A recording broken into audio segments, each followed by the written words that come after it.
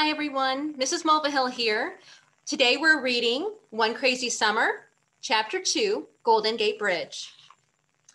I glanced up at my time at my Timex. Among the three of us, I was the only one responsible enough to keep and wear a wristwatch. Vonetta let a girl see hers and never got it back. Fern was still learning to tell time, so I kept hers in my drawer until she was ready to wear it.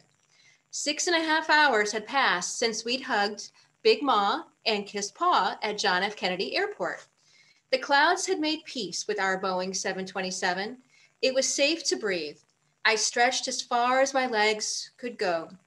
With these long legs, I'm taken for 12 or 13, even a little older. No one ever guesses 11 going on 12 on their first try. More than my long legs, I'm sure it's my plain face that throws them off. Not plain as in homely plain, but even plain, steady. I'm not nine or seven and given to squealing or oohing like Vonetta and Fern. I just let my plain face and plain words speak for me. That way, no one ever says, huh, to me.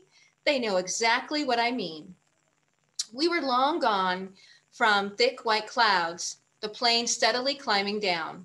The intercom crackled and the pilot made an announcement about the descent and altitude and that we would be landing in 10 minutes. I let all of that pass by until he said, and to the left, as we circle the bay, is the Golden Gate Bridge. I was now a liar, a stone faced liar. I wanted to squeal and ooh like a seven year old meeting Tinkerbell. I had read about the Golden Gate Bridge in class, the California gold rush, the Chinese immigrants building the railroads connecting east to west, it wasn't every day you saw a live picture of what you read about in your textbook. I wanted to look down from above the world and see the Golden Gate Bridge. Being stuck in the middle seat, I was mad at myself.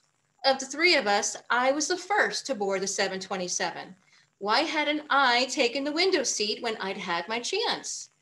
Instead of the squeal I knew wouldn't come out of me in the first place, I sighed.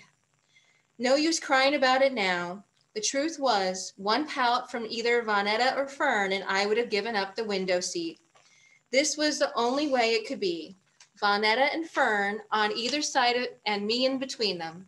Six and a half hours was too long a time to have Vonetta and Fern strapped side by side picking at each other.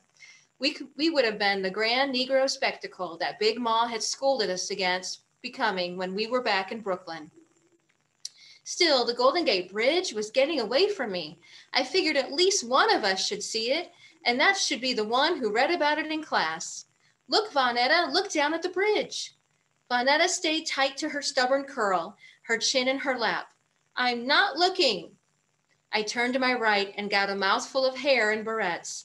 Fern had leaned over from her aisle seat. I want to see, make her switch. To Fern, the Golden Gate Bridge sounded like Sleeping Beauty's castle. She halfway believed in things not true and didn't know where fairy tales ended. No use spoiling it for her. She'd figure things out soon enough. Fern was wriggling out of her seatbelt and climbing on me to get a glimpse. This was how it was at home. Why should a thousand feet up in the air make any difference? Sit back, Fern, I said in my plain, firm voice. We're getting ready to land. She pouted but sat back down. I tightened her seatbelt. Vonetta's face stayed in her lap. That was just pitiful. Go look down, Vonetta, I said, before you miss it. Vonetta refused to pry her chin from her lap. She stuck her thumb back in her mouth and closed her eyes. I wasn't worried about Vonetta. Once we got on the ground, she'd be her showy self again, and this Frady Cat episode would be long faded. As we continued to circle the bay above the Golden Gate Bridge, I felt like I was being teased for the simple act of wanting. Each time the plane curved around, I knew in my heart it would be my last chance. And the bridge was singing, na na na na, you can't see me.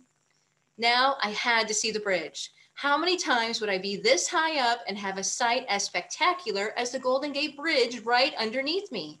I loosened my seatbelt, lifted myself, and leaned over Vonetta's head and shoulders to get a look out of the oval window.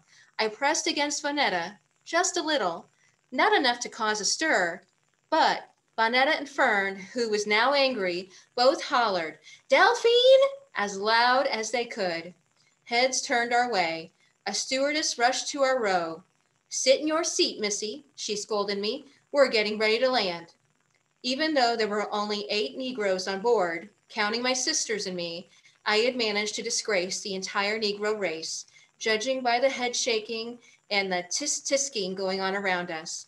I shifted my behind into my seat and tightened my seatbelt, but not before I had seen orange steel poking through thick ground clouds below. Smog. There was no time to savor my victory or feel my shame.